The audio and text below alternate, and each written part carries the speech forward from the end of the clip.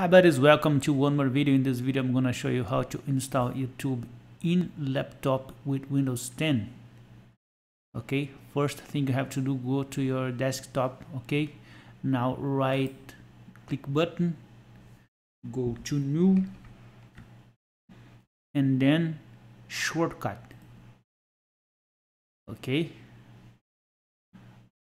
here type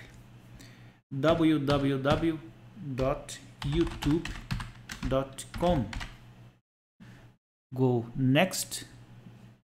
Now aqui type YouTube. And then go to finish. Okay let's try it on. Uh, double click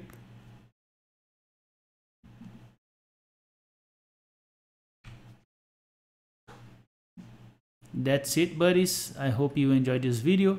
Thumbs up if you liked and till the next one